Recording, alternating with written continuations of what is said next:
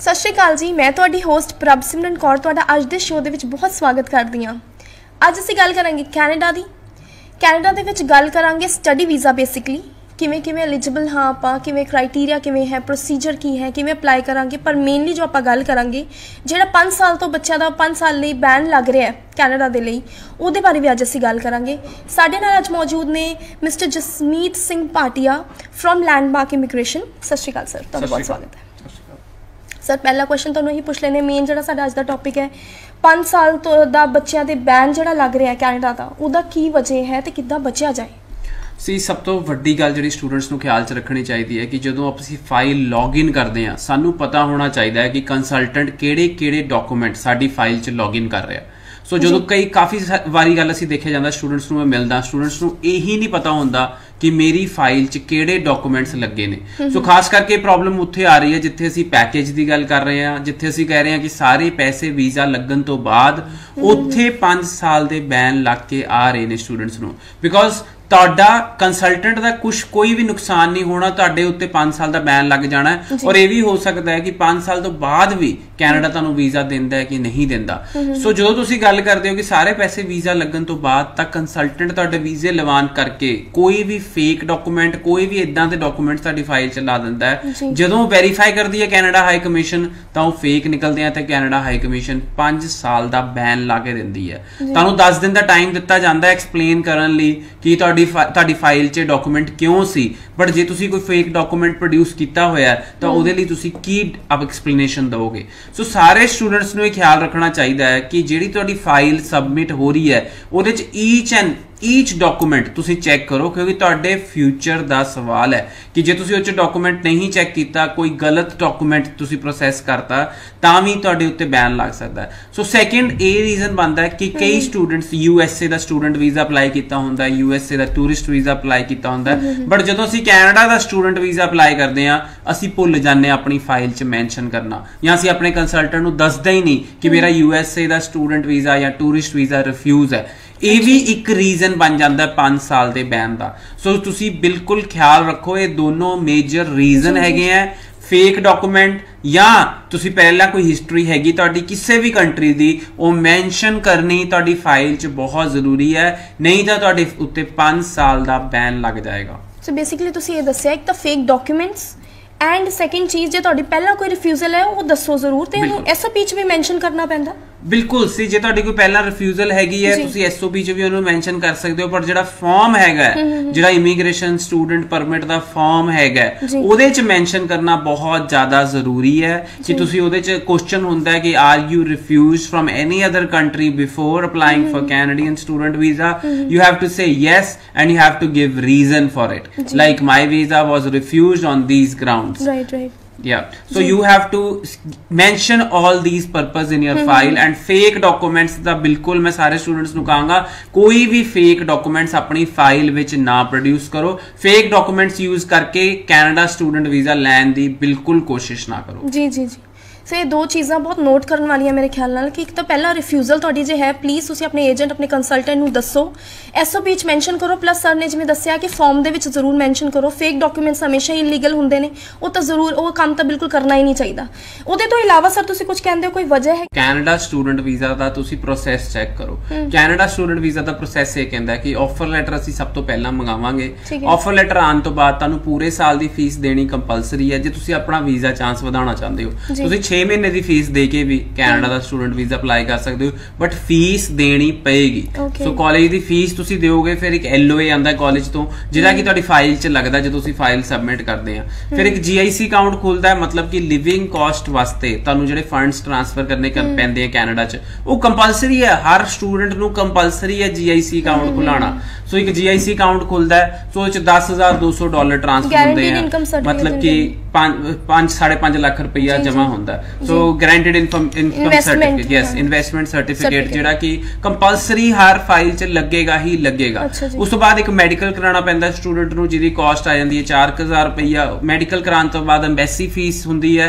Embassy fees ਦੇ ਨਾਲ fingerprint fees ਹੁੰਦੀ ਹੈ 235 ਡਾਲਰ ਸੋ ਇਹ ਸਾਰਾ ਖਰਚਾ ਵੀਜ਼ਾ ਲੱਗਣ ਤੋਂ ਪਹਿਲਾਂ ਔਰ ਜਦੋਂ ਅਸੀਂ ਅਪਲੋਡ ਕਰਦੇ ਹਾਂ ਫਾਈਲ ਤਾਂ ਇਹ ਡਾਕੂਮੈਂਟਸ ਮੰਗੇ ਜਾਂਦੇ ਆ। Upload your offer letter upload your fee receipt upload your LOA upload your IELTS result upload your GIC certificate ਜੀ। ਕਿਵੇਂ ਅਸੀਂ ਸਾਰੇ ਪੈਸੇ ਵੀਜ਼ਾ ਲੱਗਣ ਤੋਂ ਬਾਅਦ ਲੈ ਸਕਦੇ ਹਾਂ ਸਟੂਡੈਂਟ ਤੇ ਜਦ ਕਿ ਕੈਨੇਡਾ ਸਟੂਡੈਂਟ ਵੀਜ਼ਾ ਦਾ ਪ੍ਰੋਸੈਸ ਹੀ ਹੈ ਕਿ ਸਾਰੇ ਪੈਸੇ ਵੀਜ਼ਾ ਲੱਗਣ ਤੋਂ ਪਹਿਲਾਂ ਸਟੂਡੈਂਟ ਨੂੰ ਦੇਣੇ ਪੈਂਦੇ ਨੇ। ਸੋ ਜੇ ਤੁਸੀਂ ਜੈਨੂਇਨ ਤਰੀਕੇ ਆਪਣਾ ਸਟੂਡੈਂਟ ਵੀਜ਼ਾ ਅਪਲਾਈ ਕਰਨਾ ਚਾਹੁੰਦੇ ਹੋ ਤਾਂ ਸਾਰੇ ਪੈਸੇ ਵੀਜ਼ਾ ਲੱਗਣ ਤੋਂ ਪਹਿਲਾਂ ਹੁੰਦੇ ਆ ਕੈਨੇਡਾ ਦੇ ਨਾ ਕਿ ਬਾਅਦ ਵਿੱਚ। ਜੀ ਜੀ ਜੀ। ਸਰ ਜਿਹੜੇ ਦਰਸ਼ਕ ਸਾਨੂੰ ਹੁਣ ਇਸ ਟਾਈਮ ਦੇਖ ਰਹੇ ਨੇ ਸੋਚ ਰਹੇ ਨੇ ਸਾਡੀ ਰਿਫਿਊਜ਼ਲ ਆਈ ਹੋਈ ਹੈ ਬਹੁਤ ਸਟ੍ਰੈਸਡ ਨੇ ਤੁਸੀਂ ਉਹਨਾਂ ਲਈ ਕੋਈ ਟਿਪਸ ਸ਼ੇਅਰ ਕਰੋਗੇ ਜਾਂ ਤਾਂ ਤੁਹਾਡੀ ਕੰਪਨੀ ਡੀਲ ਕਰਦੀ ਹੈ ਰਿਫਿਊਜ਼ਲ ਸੇ ਬਿਲਕੁਲ ਸੀ ਇਸ ਸਾਡੇ ਟੈਸਟੀਮੋਨੀਅਲ ਤੁਸੀਂ ਦੇਖ ਸਕਦੇ ਹੋ ਸਾਡੇ ਫੇਸਬੁੱਕ ਪੇਜ ਲੈਂਡਮਾਰਕ ਇਮੀਗ੍ਰੇਸ਼ਨ ਦੇ YouTube ਪੇਜ ਤੁਸੀਂ ਖੋਲ ਸਕਦੇ ਹੋ ਲੈਂਡਮਾਰਕ ਇਮੀਗ੍ਰੇਸ਼ਨ ਉੱਥੇ ਤੁਸੀਂ ਸਬਸਕ੍ਰਾਈਬ ਕਰ ਸਕਦੇ ਹੋ ਔਰ ਉੱਥੇ ਦੇਖ ਸਕਦੇ ਹੋ ਕਿ 5 ਵਾਰੀ 6 ਵਾਰੀ ਜਿਹੜੇ ਸਟੂਡੈਂਟ ਰਿਫਿਊਜ਼ ਸੀ ਉਹਨਾਂ ਦਾ ਸਟੂਡੈਂਟ ਵੀਜ਼ਾ ਲੈਂਡਮਾਰਕ ਇਮੀਗ੍ਰੇਸ਼ਨ ਤੋਂ ਲੱਗਾ। ਸੋ ਕੁਝ ਚੀਜ਼ਾਂ ਖਿਆਲ ਰੱਖਣ ਦੀ ਜ਼ਰੂਰਤ ਹੈਗੀ ਹੈ ਜਿਹੜੇ ਰਿਫਿਊਜ਼ ਹੋ ਚੁੱਕੇ ਨੇ ਸਟੂਡੈਂਟਸ ਕੀ ਪਹਿਲਾਂ ਤੁਸੀਂ ਕਿਹੜੇ ਸ਼ਹਿਰ ਵਿੱਚ ਆਪਣਾ ਸਟੂਡੈਂਟ ਵੀਜ਼ਾ ਅਪਲਾਈ ਕੀਤਾ ਉਹ। ਬਹੁਤ ਜ਼ਿਆਦਾ ਮੈਟਰ ਕਰੇਗਾ ਤੁਹਾਡੇ ਵੀਜ਼ਾ ਅਪਰੂਵਲ ਵਿੱਚ। ਤੁਸੀਂ ਕਿਹੜੇ ਕੋਰਸ ਵਿੱਚ ਆਪਣਾ ਕੇਸ ਅਪਲਾਈ ਕੀਤਾ ਉਹ ਮੈਚ ਕਰਦਾ ਸੀ ਤੁਹਾਡੀ ਸਟੱਡੀਜ਼ ਨਾਲ ਕਿ ਨਹੀਂ ਮੈਚ ਕਰਦਾ ਸੀ। ਉਹ ਵੀ ਬਹੁਤ ਜ਼ਿਆਦਾ ਮੈਟਰ ਕਰੇਗਾ ਤੁਹਾਡੇ ਵੀਜ਼ਾ ਅਪਰੂਵਲ ਵਿੱਚ। ਫਿਰ ਤੁਸੀਂ ਕਿਹੜੇ ਕਾਲਜ ਚ ਸਟੂਡੈਂਟ ਵੀਜ਼ਾ ਅਪਲਾਈ ਕੀਤਾ ਇਹ ਵੀ ਬਹੁਤ ਜ਼ਿਆਦਾ ਮੈਟਰ ਕਰੇਗਾ ਤੁਹਾਡੇ ਸਟੂਡੈਂਟ ਵੀਜ਼ਾ ਫਿਰ ਉਸ ਤੋਂ ਬਾਅਦ ਅਸੀਂ ਗੱਲ ਕਰੀਏ ਸਭ ਤੋਂ ਜ਼ਿਆਦਾ ਮੈਟਰ ਕਰੇਗੀ ਤੁਹਾਡੇ ਫਾਰਮਸ ਤੁਸੀਂ ਸਹੀ ਢੰਗ ਨਾਲ ਭਰੇ ਹੈ ਤੁਸੀਂ ਐਸਓਪੀ ਸਹੀ ਤਰੀਕੇ ਨਾਲ ਬਣਾਈ ਹੈ। ਤੁਸੀਂ ਐਸਓਪੀ 'ਚ ਇੱਕ ਆਪਣਾ ਕੈਰੀਅਰ ਪਾਥ ਦੱਸ ਰਹੇ ਹੋ ਵੀਜ਼ਾ ਆਫੀਸਰ ਨੂੰ ਕਿ ਤੁਸੀਂ ਇਹ ਪੜ੍ਹਾਈ ਕਰਕੇ ਕੀ ਕਰੋਗੇ ਅੱਗੇ. ਤੁਸੀਂ ਕੈਰੀਅਰ ਪਾਥ ਡਿਫਾਈਨ ਕਰ ਰਹੇ ਹੋ ਕਿ ਅੱਜ ਮੈਂ ਇੱਕ ਕਲਾਸਾਂ ਪੜਨ ਜਾ ਰਿਹਾ ਅੱਜ ਮੈਂ ਆਈਟੀ ਦਾ ਪ੍ਰੋਗਰਾਮ ਕਰਨ ਜਾ ਰਿਹਾ ਔਰ ਮੈਂ ਫਿਊਚਰ 'ਚ ਇਸ ਪ੍ਰੋਗਰਾਮ ਦਾ ਕੀ ਯੂਜ਼ ਕਰਾਂਗਾ? ਸੋ ਜੇ ਸਾਰੀਆਂ ਚੀਜ਼ਾਂ ਤੁਸੀਂ ਐਸਓਪੀ 'ਚ ਨਹੀਂ ਮੈਂਸ਼ਨ ਕਰ ਰਹੇ ਕਿ ਮੈਂ ਰਿਸਰਚ ਕੀਤੀ ਇਸ ਕਾਲਜ ਬਾਰੇ ਮੈਂ ਇਸ ਕਾਲਜ ਬਾਰੇ ਚੈੱਕ ਕੀਤਾ ਇੰਨਾ ਪੁਰਾਣਾ ਇਹ ਕਾਲਜ ਹੈ ਔਰ ਇੱਥੇ ਇਹ ਇਹ ਇੱਥੇ ਇਲੂਮੀਨਾਈਜ਼ ਹੈਗੇ ਆ ਜਿਹੜੇ ਇੱਥੋਂ ਪੜ੍ਹ ਕੇ ਨਿਕਲੇ ਔਰ ਸਕਸੈਸਫੁਲ ਅੱਜ ਗੂਗਲ 'ਚ ਕੰਮ ਕਰ ਰਹੇ ਨੇ ਅੱਜ ਮਾਈਕਰੋਸਾਫਟ 'ਚ ਕੰਮ ਕਰ ਰਹੇ ਨੇ ਇਹ ਸਾਰੀਆਂ ਗੱਲਾਂ ਮੈਂਸ਼ਨ ਕਰਨੀਆਂ ਚਾਹੀਦੀਆਂ ਸਟੂਡੈਂਟ ਨੂੰ ਇੱਕ ਐਸਓਪੀ ਵਿੱਚ। ਸੋ ਜੇ ਤੁਹਾਡੀ ਐਸਓਪੀ 'ਚ ਨਹੀਂ ਕੋਈ ਇਹੋ ਜੀ ਚੀਜ਼ ਮੈਂਸ਼ਨ ਤਾਂ ਤੁਹਾਨੂੰ ਵੀਜ਼ਾ ਰਿਫਿਊਜ਼ਲ ਦਾ ਸਾਹਮਣਾ ਕਰਨਾ ਪਏਗਾ। ਮੇਰੇ ਕੋਲ ਇਦਾਂ ਦੇ ਸਟੂਡੈਂਟਸ ਆ ਕੇ ਮਿਲ ਕੇ ਗਏ ਆ ਜਿਨ੍ਹਾਂ ਦੇ 90% 7 ਬੈਂਡ ਹੋਣ ਦੇ ਬਾਵਜੂਦ ਵੀ ਉਹਨਾਂ ਨੂੰ ਵੀਜ਼ਾ ਰਿਫਿਊਜ਼ਲ ਦਾ ਸਾਹਮਣਾ ਕਰਨਾ ਪਿਆ। ਜੀ। ਸਰ ਐਸਓਪੀ ਦੀ ਜੇ ਗੱਲ ਕਰੀਏ ਸਟੇਟਮੈਂਟ ਆਫ ਪਰਪਸ ਤੁਸੀਂ ਕਿਹਾ ਕੈਰੀਅਰ ਪਾਥ ਦਿਖਾਣਾ ਪੈਂਦਾ ਹੈ। ਸਭ ਕੁਝ ਸ਼ੋ ਕਰੋ ਪਰਪਸ ਦਿਖਾਓ ਲਿਖੋ ਸਾਰਾ ਕੁਝ ਕਲੀਅਰਲੀ ਹਨਾ? ਉਸ 'ਚ ਕੁਝ ਛੁਪਿਆ ਨਹੀਂ ਹੋਣਾ ਚਾਹੀਦਾ। ਕਿ ਇਹ ਵੀ ਗੱਲ ਸੱਚ ਹੈ ਕਿ ਉਸ 'ਚ ਲਿਖਣਾ ਇਹ ਜ਼ਰੂਰੀ ਹੈ ਕਿ ਮੈਂ ਤੁਹਾਡੇ ਮੁਲਕ 'ਚ ਸਟੱਡੀ ਕਰਨ ਤੋਂ ਬਾਅਦ ਮੈਂ ਇੰਡੀਆ ਵਾਪਸ ਆਵਾਂਗਾ ਮੇਰੇ ਲਈ ਇੱਥੇ ਵੀ ਜੌਬ ਓਪਰਚੁਨਿਟੀਜ਼ ਖੁੱਲੀਆਂ ਨੇ। ਸਮਲਟੇਨੀਅਸਲੀ ਤੁਹਾਨੂੰ ਮੈਂਸ਼ਨ ਕਰਨਾ ਜ਼ਰੂਰ ਹੈ। ਜੇ ਤੁਸੀਂ ਇਹ ਸ਼ੋ ਕਰ ਰਹੇ ਹੋ ਕਿ ਤੁਸੀਂ ਕੈਨੇਡਾ 'ਚ ਸੈਟਲ ਹੋਗੇ ਤੁਹਾਨੂੰ ਇੱਕ ਲਾਈਨ ਇਹ ਵੀ ਲਿਖਣੀ ਪਏਗੀ ਕਿ ਆਈਟੀ ਰਿਲੇਟਡ ਇੰਡੀਆ ਵੀ ਗਰੋਇੰਗ ਕੰਟਰੀ ਹੈਗਾ ਔਰ ਫਿਊਚਰ ਵਿੱਚ ਜੇ ਮੈਨੂੰ। ਇੰਡੀਆ 'ਚ ਜੌਬਸ ਮਿਲਣਗੀਆਂ ਤਾਂ ਮੈਂ ਇੰਡੀਆ 'ਚ ਆ ਕੇ ਵੀ ਸੋ ਦੋ ਕਰੀਏ ਦੋ ਤੱਕ ਨਾਲ ਸਾਨੂੰ ਆਪ ਐਸਓਪੀ ਡਿਜ਼ਾਈਨ ਕਰਨੀ ਪਏਗੀ। ਸਿਰਫ ਅਸੀਂ ਇਹ ਮੋਟੋ ਨਹੀਂ ਸ਼ੋ ਕਰ ਸਕਦੇ ਕਿ ਮੈਂ ਉੱਥੇ ਚੱਲਾਂ ਔਰ ਉਸ ਤੋਂ ਬਾਅਦ ਮੈਂ ਮੁੜ ਕੇ ਨਹੀਂ ਆਣਾ। ਸੋ ਤੁਹਾਡੀ ਐਸਓਪੀ 'ਚ ਇਦਾਂ ਦਾ ਕੁਝ ਨਹੀਂ ਮੈਂਸ਼ਨ ਹੋਣਾ ਚਾਹੀਦਾ। ਇਸੇ ਲਈ ਐਸਓਪੀ ਲਿਖਾਈ ਜਾਂਦੀ ਹੈ ਇਸੇ ਲਈ ਐਸਓਪੀ ਚੈੱਕ ਕੀਤੀ ਜਾਂਦੀ ਹੈ ਹਾਈ ਕਮਿਸ਼ਨ ਤੋਂ ਕਿ ਸਟੂਡੈਂਟ ਕਿੰਨਾ ਜੈਨੂਇਨ ਹੈ ਔਰ ਕਿੰਨਾ ਜ਼ਿਆਦਾ ਪੜ੍ਹਾਈ ਦੇ ਪ੍ਰਤੀ ਸੀਰੀਅਸ ਹੈਗਾ। ਕਿਉਂਕਿ ਨਾਰਮਲੀ ਇੱਥੋਂ ਜਿੰਨੇ ਬੱਚੇ ਜਾ ਰਹੇ ਨੇ ਉਹ ਸਿਰਫ ਇਹ ਸੋਚ ਕੇ ਜਾ ਰਹੇ ਨੇ ਕਿ ਮੈਂ ਉੱਥੇ ਪਹੁੰਚ ਰਿਹਾ ਔਰ ਬਸ ਡਾਲਰ ਕਮਾਣੇ ਸ਼ੁਰੂ ਕਰ ਦਿੰਨੇ ਆ। ਇੰਨਾ ਆਸਾਨ ਨਹੀਂ ਹੈਗਾ। ਜੇ ਤੁਸੀਂ ਐਕਸਟਰਾ ਕੰਮ ਕਰਦੇ ਹੋ ਪੜ੍ਹਾਈ ਨੂੰ ਇਗਨੋਰ ਕਰਦੇ ਹੋ ਤਾਂ ਤੁਹਾਡੇ ਪੜ੍ਹਾਈ ਦਾ ਵੀ ਹਰਜਾਨਾ ਹੈ ਪੈਸਿਆਂ ਦਾ ਵੀ ਹਰਜਾਨਾ ਔਰ ਤੁਹਾਡੇ ਫਿਊਚਰ 'ਚ ਵੀ ਆਉਣ ਵਾਲੀਆਂ ਬਹੁਤ ਸਾਰੀਆਂ ਦਿੱਕਤਾਂ ਹੈ ਕਿਉਂਕਿ ਜਿਹੜੇ ਸਟੂਡੈਂਟਸ ਓਵਰਟਾਈਮ ਕਰ ਰਹੇ ਸੀ ਕੰਮ ਉਹਨਾਂ ਨੂੰ ਵਾਪਸ ਭੇਜਿਆ ਜਾ ਰਿਹਾ ਹੈ ਉਹਨਾਂ ਨੂੰ ਵਰਕ ਪਰਮਿਟ ਐਕਸਟੈਂਸ਼ਨ ਨਹੀਂ ਮਿਲ ਰਹੀ। ਜਿਹੜੇ ਸਟੂਡੈਂਟਸ ਨੇ ਕਾਲਜ ਚੇਂਜ ਕੀਤਾ ਸੀ ਉਹਨਾਂ ਨੂੰ ਵਰਕ ਪਰਮਿਟ ਨਹੀਂ ਮਿਲ ਰਿਹਾ। ਜਿਹੜੇ ਸਟੂਡੈਂਟਸ ਨੇ ਆਪਣੀ ਪੜ੍ਹਾਈ 'ਚ ਧਿਆਨ ਨਹੀਂ ਦਿੱਤਾ ਉਹਨਾਂ ਨੂੰ ਵਰਕ ਪਰਮਿਟ ਨਹੀਂ ਮਿਲ ਰਿਹਾ। ਸੋ ਉਹਨਾਂ ਨੂੰ ਵੀਜ਼ਾ ਐਕਸਟੈਂਸ਼ਨ ਹੀ ਨਹੀਂ ਮਿਲ ਰਹੀ। ਪੀਆਰ ਤਾਂ ਬਹੁਤ ਦੂਰ ਦੀ ਗੱਲ ਹੈ। ਜੀ ਜੀ ਜੀ। ਸਰ ਇਹ ਵੀ ਗੱਲ ਸੱਚ ਹੈ ਕਿ ਫਰਸਟ ਸੈਮ ਦੇ ਵਿੱਚ ਜੇ ਤੁਸੀਂ ਅਪ ਪਾਸ ਨਹੀਂ ਹੁੰਦੇ ਆ, ਉਸ ਤੋਂ ਬਾਅਦ ਡਿਟੇਨ ਕਰ ਦਿੱਤੇ ਜਾਂਦੇ and they have to apply again ਨਹੀਂ ਨਹੀਂ ਇਹ ਇਹ ਬਿਲਕੁਲ ਸਹੀ ਨਹੀਂ ਹੈਗਾ। ਜੇ ਤੁਸੀਂ ਫਰਸਟ ਸਮੈਸਟਰ ਚ ਪਾਸ ਨਹੀਂ ਹੁੰਦੇ ਹੋ ਤਾਂ ਤੁਹਾਨੂੰ ਸੈਕਿੰਡ ਸਮੈਸਟਰ ਚ ਜਿਹੜੀ ਤੁਸੀਂ ਫੀਸ ਦਿੱਤੀ ਹੈ ਸੋ ਸਭ ਤੋਂ ਵੱਡਾ ਹਰਜਾਨਾ ਕੀ ਹੈ? ਸਪੋਜ਼ ਅੱਜ ਦੀ ਡੇਟ ਚ ਇੱਕ ਕਾਲਜ ਦੀ ਸਮੈਸਟਰ ਦੀ ਫੀਸ 3 ਤੋਂ 4 ਲੱਖ ਰੁਪਈਆ। ਸੋ ਜਿਹੜੀ ਤੁਸੀਂ ਫੀਸ ਦਿੱਤੀ ਹੈ 3 ਤੋਂ 4 ਲੱਖ ਰੁਪਈਆ ਉਹ ਬਿਲਕੁਲ ਜ਼ੀਰੋ ਹੋ ਗਈ। ਤੁਸੀਂ ਪਾਰਟ ਟਾਈਮ ਕੰਮ ਕਰਕੇ ਚਾਹੇ 2 ਲੱਖ ਰੁਪਈਆ ਕਮਾ ਲਿਆ ਹੋਣਾ ਪਰ। ਜਿਹੜਾ ਤੁਸੀਂ 3-4 ਲੱਖ ਰੁਪਈਆ ਫੀਸ ਦਿੱਤੀ ਸੀ ਉਹ ਤੁਹਾਨੂੰ ਦੁਬਾਰਾ ਭਰਨੀ ਪਏਗੀ। ਤੁਹਾਨੂੰ ਕੋਰਸ। ਦੁਬਾਰਾ ਤੋਂ ਸ਼ੁਰੂ ਕਰਨਾ ਪਏਗਾ। ਜਦੋਂ ਤੁਹਾਡਾ ਵੀਜ਼ਾ ਖਤਮ ਖਤਮ ਹੋ ਜਾਏਗਾ ਉਹਦੀ ਐਕਸਟੈਂਸ਼ਨ ਲਈ ਵੀ। ਤੁਹਾਨੂੰ ਦੱਸਣਾ ਪਏਗਾ ਵੀਜ਼ਾ ਆਫੀਸਰ ਨੂੰ ਕਿ ਫਰਸਟ ਸਮੈਸਟਰ ਵਿੱਚ ਤੁਸੀਂ ਫੇਲ ਹੋ ਗਈ ਸੀ।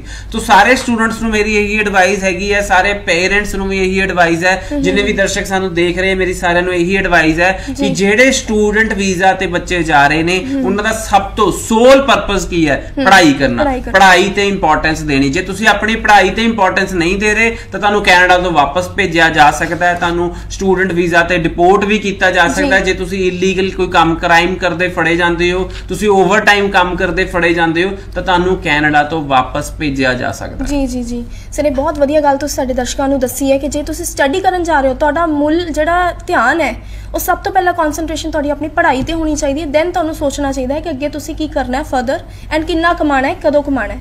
Basically degree is important sir ਨਾਲ ਹੀ ਗੱਲ ਕਰ ਲੈਨੇ ਇਨਕਮਿੰਗ ਇਨਟੇਕਸ ਦੀ ਜਿਹੜੇ ਬੱਚੇ ਹੁਣ ਅਪਲਾਈ ਕਰਨ ਦੀ ਸੋਚ ਰਹੇ ਨੇ ਪਲੱਸ 2 ਦਾ ਰਿਜ਼ਲਟ ਮੇਬੀ ਅਵੇਟਡ ਹੋਵੇ ਜਾਂ ਆ ਗਿਆ ਹੈ ਉਹ ਕਿੱਦਾਂ ਅਪਲਾਈ ਜਿਹੜੇ ਸਟੂਡੈਂਟਸ ਪਲੱਸ 2 ਦਾ ਪੇਪਰ ਦੇਣ ਵਾਲੇ ਆ ਇਸ ਮਹੀਨੇ 'ਚ ਉਹ ਕੰਡੀਸ਼ਨਲੀ ਆਪਣੀ ਆਫਰ ਲੈਟਰ ਅਪਲਾਈ ਕਰਨ ਕਰ ਸਕਦੇ ਆ। ਨੈਕਸਟ ਮੰਥ ਲੈਂਡਮਾਰਕ ਇਮੀਗ੍ਰੇਸ਼ਨ ਸਾਰੇ ਸਟੂਡੈਂਟਸ ਲਈ ਇੰਟਰਨੈਸ਼ਨਲ ਐਜੂਕੇਸ਼ਨ ਐਕਸਪੋ ਲੈ ਕੇ ਆ ਰਿਹਾ ਜਿਸ 'ਚ 20 ਤੋਂ ਵੀ ਵੱਧ ਕਾਲਜ ਤੋਂ ਨੁਮਾਇੰਦੇ ਪਾਰਟਿਸਿਪੇਟ ਕਰਨਗੇ। ਉਹਨਾਂ ਐਕਸਪੋ ਦਾ ਤੁਸੀਂ ਹਿੱਸਾ ਬਣ ਕੇ ਆਪਣੀ ਆਫਰ ਲੈਟਰ ਕੰਡੀਸ਼ਨਲ ਵੀ ਅਪਲਾਈ ਕਰ ਸਕਦੇ ਹੋ। ਜਿਹੜੇ ਸਟੂਡੈਂਟਸ ਕੋਲ ਆਈਲੈਟਸ ਰਿਜ਼ਲਟ ਹੈ ਪਰ ਆਪਣੇ ਪਲੱਸ 2 ਦਾ ਰਿਜ਼ਲਟ ਦੀ ਵੇਟ ਕਰ ਰਹੇ ਉਹ ਕੰਡੀਸ਼ਨਲ ਆਪਣਾ ਅਪਲਾਈ ਕਰ ਸਕਦੇ ਆ ਕਿਸੇ ਵੀ ਕੈਨੇਡੀਅਨ ਕਾਲਜ ਚ ਯੂ ਐਸ ਏ ਦੇ ਕਾਲਜ ਚ ਆਸਟ੍ਰੇਲੀਆ ਦੇ ਕਾਲਜ ਚ ਜਰਮਨੀ ਵਿੱਚ ਜਿੱਥੇ ਵੀ ਤੁਸੀਂ ਜਾਣਾ ਚਾਹੁੰਦੇ ਹੋ ਉੱਥੇ ਕੰਡੀਸ਼ਨਲੀ ਤੁਸੀਂ ਅਪਲਾਈ ਕਰ ਸਕਦੇ ਹੋ ਆਉਣ ਵਾਲੇ ਐਜੂਕੇਸ਼ਨ ਐਕਸਪੋ ਵਿੱਚ। ਔਰ ਜੇ ਤੁਸੀਂ ਅੱਜ ਦੀ ਡੇਟ 'ਚ ਵੀ ਸੋਚ ਰਹੇ ਹੋ ਕਿ ਜੇ ਤੁਸੀਂ ਅਪਲਾਈ ਕਰਨਾ ਚਾਹੁੰਦੇ ਹੋ ਤਾਂ ਇੱਕ ਕੰਡੀਸ਼ਨ ਨਾਲ ਤੁਸੀਂ ਆਪਣੀ ਆਫਰ ਲੈਟਰ ਅਪਲਾਈ ਕਰ ਸਕਦੇ ਹੋ। ਜੀ ਜੀ ਸਰ ਪ੍ਰੋਸੀਜਰ ਕੀ ਹੈ sir conditional offer letter conditional offer letter apply ਕਰਨ ਲਈ ਜਾਂ ਤਾਂ ਤੁਹਾਡੇ ਕੋਲ ਆਈਲੈਟਸ ਦਾ ਰਿਜ਼ਲਟ ਹੋਣਾ ਜ਼ਰੂਰੀ ਹੈ। ਇੱਕ ਕੰਡੀਸ਼ਨ ਹੋਣੀ ਚਾਹੀਦੀ ਹੈ ਜਾਂ ਤਾਂ ਤੁਹਾਡਾ ਪਲੱਸ 2 ਦਾ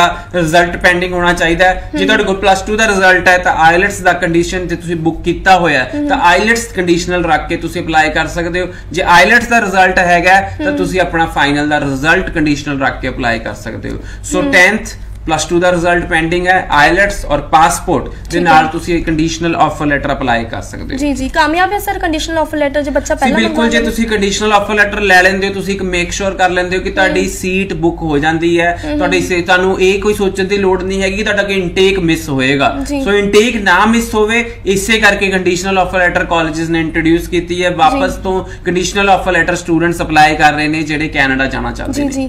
ਕੋਈ ਇਹਦੀ ਫੀਸ ਵੀ ਹੁੰਦੀ ਹੈ? ਸਟਰਕਚਰ ਕੀ ਹੈ ਸਰ ਸਾਰਾ ਫੀਸ ਆਫਰ ਲੈਟਰ ਦੀ ਫੀਸ 100 ਡਾਲਰ ਤੋਂ ਲੈ ਕੇ 200 ਡਾਲਰ ਤੱਕ ਹੁੰਦੀ ਹੈ। ਕੁਝ ਕਾਲਜਸ ਵੇਵਰ ਵੀ ਦੇ ਰਹੇ ਆ ਜਿਵੇਂ ਅੱਜ ਦੀ ਡੇਟ ਚ Lambton college free of cost offer letter ਦੇ ਰਿਹਾ ਹੈ। ਨਾਇਗਰਾ ਕਾਲਜ ਐਚਡੀਐਸ ਸਟੂਡੈਂਟਸ ਨੂੰ free of cost offer letter ਦੇ ਰਿਹਾ ਹੈ। Cambrian college free of cost offer letter ਦੇ ਰਿਹਾ ਹੈ। ਟੋਰਾਂਟੋ ਕੈਂਪਸ ਵਿੱਚ Loyalist college free of cost offer letter ਦੇ ਰਿਹਾ ਹੈ। ਸੋ ਕਾਫੀ ਸਾਰੇ ਇਦਾਂ ਦੇ ਕਾਲਜ ਵੀ ਹੈਗੇ ਆ ਜਿਹੜੇ free of cost offer letter ਦੇ ਰਹੇ ਆ ਔਰ ਕਾਫੀ ਸਾਰੇ ਇਦਾਂ ਦੇ ਕਾਲਜਸ ਵੀ ਹੈਗੇ ਆ ਜਿਹੜੇ ਫੀਸ ਚਾਰਜ ਕਰ ਰਹੇ ਆ, ਜਿਹੜੀ ਫੀਸ 100 ਡਾਲਰ ਮਤਲਬ 5000 ਰੁਪਏ ਤੋਂ ਲੈ ਕੇ 10000 ਦੇ ਵਿੱਚ ਵਿੱਚ ਵੇਰੀ ਕਰੇਗੀ। ਸੋ ਬਟ ਸਟੂਡੈਂਟਸ ਨੂੰ ਖਿਆਲ ਰੱਖਣਾ ਚਾਹੀਦਾ ਹੈ ਕਿ ਕੋਈ ਵੀ ਆਫਰ ਲੈਟਰ ਦੀ ਫੀਸ 25000 50000 ਨਹੀਂ ਹੁੰਦੀ ਕਿਉਂਕਿ ਆਫਰ ਲੈਟਰ ਦੇ ਨਾਂ ਤੇ ਵੀ। ਸਟੂਡੈਂਟਸ ਤੋਂ 25 ਔਰ 50000 ਕਈ ਵਾਰੀ ਲੈ ਲਿਆ ਜਾਂਦਾ। ਜੀ ਜੀ ਜੀ।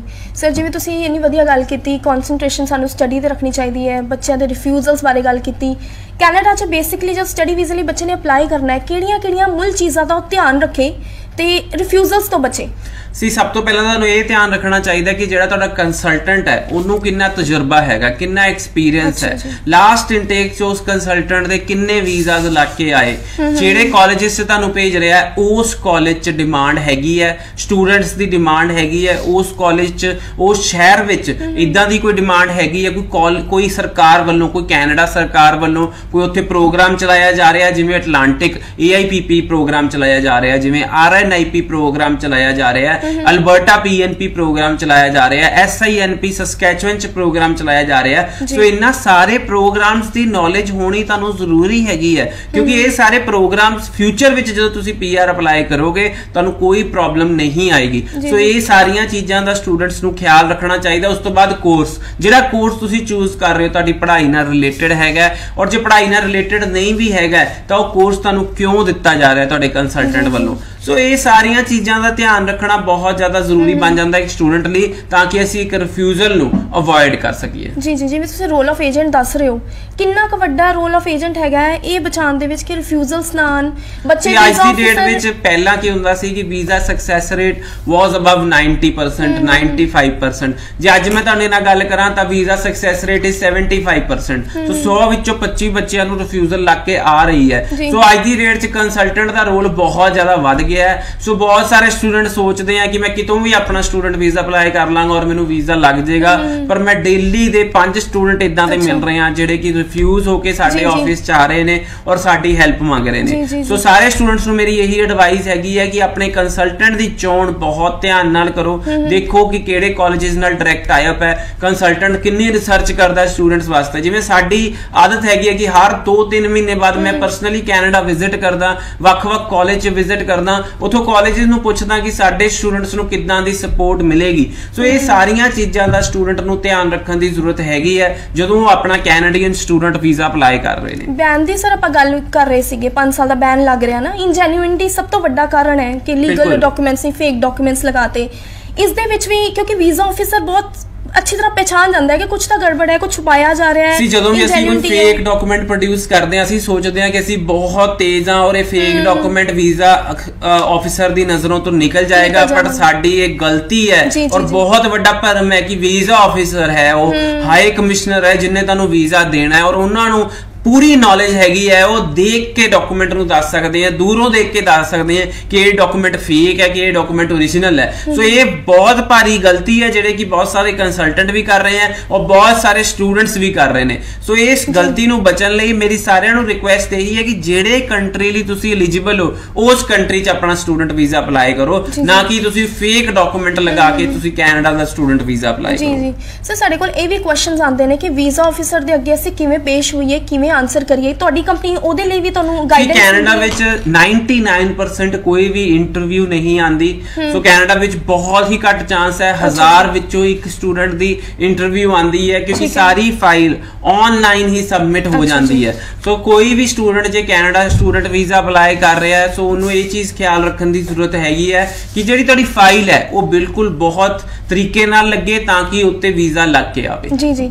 ਇੰਗਲਿਸ਼ ਦੇ ਵਿੱਚ ਕਹਿੰਦੇ ਨੇ 70% ਜੇ ਮਾਰਕਸ ਨਹੀਂ ਤੇ ਵਿਦਆਊਟ ਆਇਲਸ ਵੀ ਤੁਹਾਡਾ ਲੱਗ ਸਕਦਾ ਨਹੀਂ ਹੈ ਕੈਨੇਡਾ ਵਿੱਚ? ਵਿਦਆਊਟ ਆਇਲਟਸ ਬਿਲਕੁਲ ਪੋਸੀਬਲ ਨਹੀਂ ਹੈ ਓਵਰਆਲ 6 ਬੈਂਡ ਜਾਂ 6 ਈਚ ਦੇ ਨਾਲ ਹੀ. ਤੁਸੀਂ ਕੈਨੇਡਾ ਸਟੂਡੈਂਟ ਵੀਜ਼ਾ ਅਪਲਾਈ ਕਰੋ ਇਸ ਤੋਂ ਜੇ ਘੱਟ ਬੈਂਡ ਹੈ ਸਪੋਜ਼ ਓਵਰਆਲ 5.5 ਹੈ ਕੈਨੇਡਾ ਦਾ ਸਟੂਡੈਂਟ ਵੀਜ਼ਾ ਤੁਸੀਂ ਅਪਲਾਈ ਨਾ ਕਰੋ ਬਿਲਕੁਲ ਰਿਫਿਊਜ਼ਲ ਮਿਲੇਗੀ ਔਰ ਕੈਨੇਡਾ 'ਚ ਵਿਦਆਊਟ ਆਇਲਟਸ ਵਾਲੀਆਂ ਐਡਸ ਦਾ ਵੀ ਬਿਲਕੁਲ। ਇਗਨੋਰ ਕਰੋ ਬਿਲਕੁਲ ਹੀ ਕੋਈ ਰੂਲ ਨਹੀਂ ਹੈਗਾ ਕਿ। ਵਿਦਆਊਟ ਆਇਲਟ ਵਾਲੇ ਸਟੂਡੈਂਟ ਨੂੰ ਕੈਨੇਡਾ ਦਾ ਸਟੂਡੈਂਟ ਵੀਜ਼ਾ ਜਸਟ ਮਿਲੇਗਾ। ਰਿਊਮਰ ਹੈ ਮਤਲਬ। ਬਿਲਕੁਲ, ਬਿਲਕੁਲ। ਜੀ ਜੀ।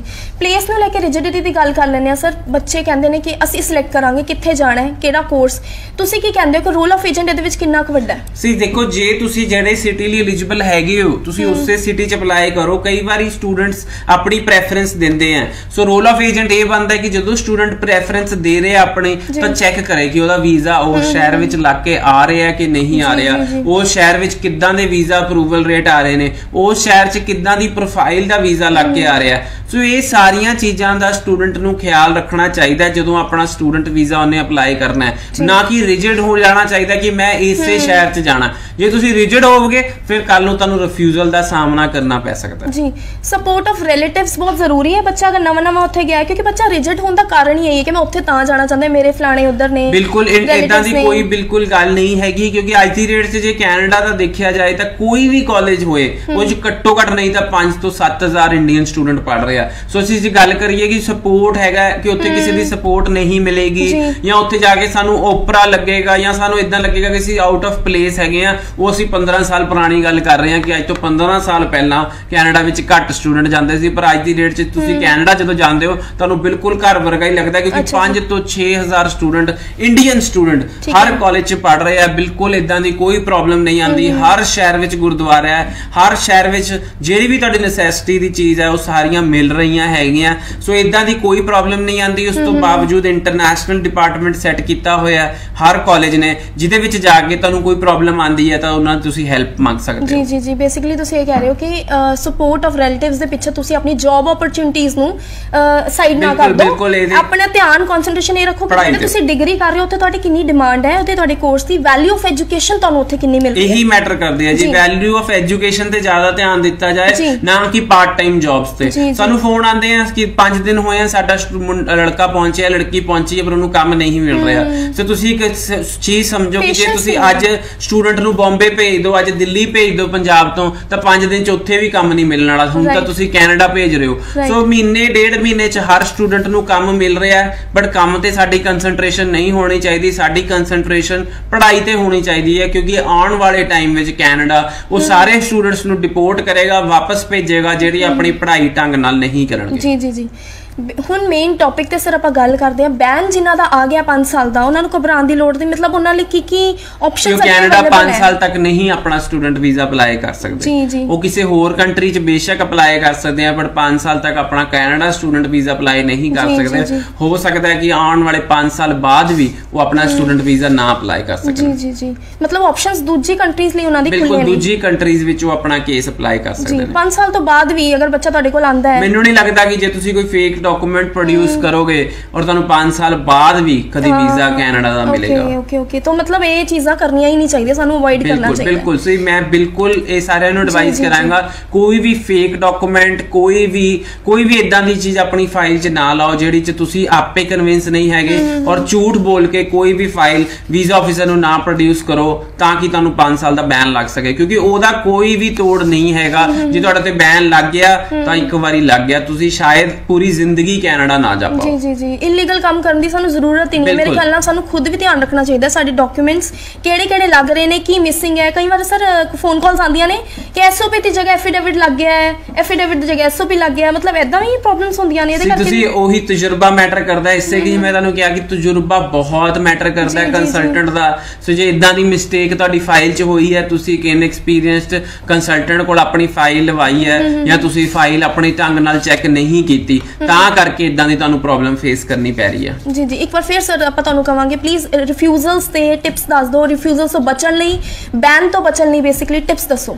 ਸੀ ਮੈਂ ਸਾਰੇ ਸਟੂਡੈਂਟਸ ਨੂੰ ਇਹੀ ਐਡਵਾਈਸ ਕਰਾਂਗਾ ਜੇ ਤੁਸੀਂ ਰਿਫਿਊਜ਼ਲ ਤੋਂ ਬਚਣਾ ਚਾਹੁੰਦੇ ਹੋ ਤਾਂ ਇੱਕ ਕੰਸਲਟੈਂਟ ਉਹਨੂੰ ਚੂਜ਼ ਕਰੋ ਜਿਹਨੂੰ ਬਹੁਤ ਤਜਰਬਾ ਹੈਗਾ ਜਿਹਦੇ ਤੁਸੀਂ। ਚੈੱਕ ਕਰੋ ਕਿ ਪਿਛਲੇ ਇਨਟੇਕ ਵਿੱਚ ਕਿੰਨੇ ਵੀਜ਼ਾ ਲੱਗ ਕੇ ਆਏ ਸੀ। ਦੂਜਾ ਇਹ ਜ਼ਰੂਰ ਚੈੱਕ ਕਰੋ ਕਿ ਜਿਹੜੇ ਤੁਹਾਡੀ ਫਾਈਲ ਅਪਲੋਡ ਹੋ ਰਹੀ ਹੈ ਉਹਦੇ ਚ ਡਾਕੂਮੈਂਟ ਸਾਰੇ ਸਹੀ ਲੱਗੇ ਆ। ਤੀਸਰਾ ਇਹ ਜ਼ਰੂਰ ਚੈੱਕ ਕਰੋ ਕਿ ਜਿਹੜੀ ਐਸਓਪੀ ਬਣੀ ਹੈ ਉਹ ਐਸਓਪੀ ਵਿੱਚ ਸਾਰੇ ਪੁਆਇੰਟਸ ਕਵਰ ਹੈ ਤੁਸੀਂ ਕੈਰੀਅਰ ਪਾਥ ਡਿਫਾਈਨ ਕਰ ਰਹੇ ਹੋ ਜੇ ਤੁਸੀਂ ਰਿਫਿਊਜ਼ਲ ਤੋਂ ਬਚਣਾ ਚਾਹੁੰਦੇ ਹੋ। ਔਰ ਜੇ ਬੈਨ ਬੈਨ ਵਾਸਤੇ ਮੇਰੀ ਸਾਰੇ ਸਟੂਡੈਂਟਸ ਨੂੰ ਇਹ ਐਡਵਾਈਸ ਹੈ ਕੋਈ ਵੀ ਫੇਕ ਡਾਕੂਮੈਂਟ ਆਪਣੀ ਫਾਈਲ 'ਚ ਪ੍ਰੋਡਿਊਸ ਨਾ ਕਰੋ। ਹੁਣ ਸਮਾਂ ਹੋਰ ਇਜਾਜ਼ਤ ਨਹੀਂ ਦੇ ਰਿਹਾ ਸਵਾਲ ਜਵਾਬ ਅੱਗੇ ਤੋਰੀਏ sir thank you so much ਸਾਡੇ ਸ਼ੋਅ ਦੇ ਵਿੱਚ ਆਉਣ ਲਈ। ਥੈਂਕ ਯੂ ਸੋ ਮਚ ਜਿਵੇਂ ਕਿ ਅਸੀਂ ਵੇਖਿਆ ਸਾਨੂੰ ਅੱਜ ਦੇ ਸ਼ੋਅ ਦੇ ਵਿੱਚ ਪਤਾ ਲੱਗਿਆ 5 ਸਾਲ ਦੇ ਬੈਨ ਤੋਂ ਬਚਣ ਲਈ ਟਿਪਸ ਰਿਫਿਊਜ਼ਲ ਸੇ ਟਿਪਸ ਸਰ ਨੇ ਸਾਨੂੰ ਦੱਸੇ।